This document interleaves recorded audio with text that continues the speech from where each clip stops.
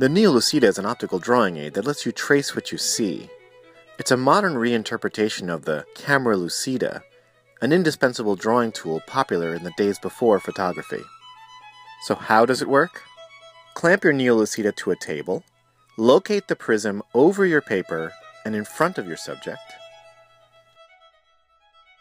Look down into the prism, and you will see your hand and the ghost image of your subject at the same time and you trace what you see.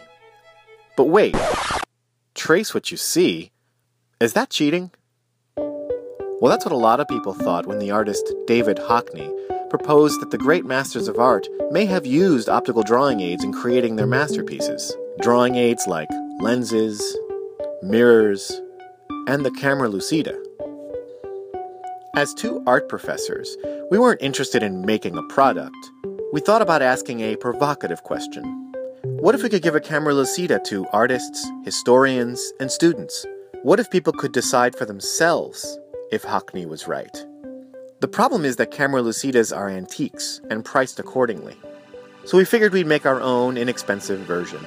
We decided to crowdfund it to pay for the minimum order of 500 custom prisms. We would make the small batch as an experiment and then move on. After all, how many people would want an obsolete device few had ever heard of?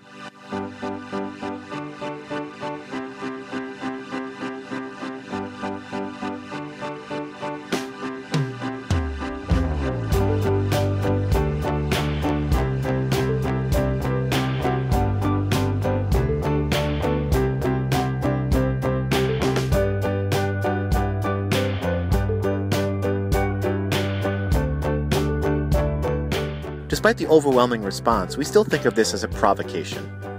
While the NeoLucida is just a prism on a stick, the NeoLucida project is much more.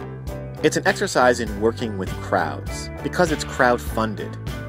It's crowd empowering because we share knowledge through open source design. We give free downloads for 3D print files so you can make your own parts.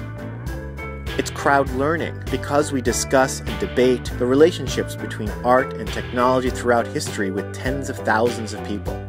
And it's a crowd laboratory because people share their modifications and new applications for the NeoLucida. And it keeps us busy. We go out and do lectures and workshops and learn from people as they adapt the tool for their needs, as they show us how they're learning to see and draw the world.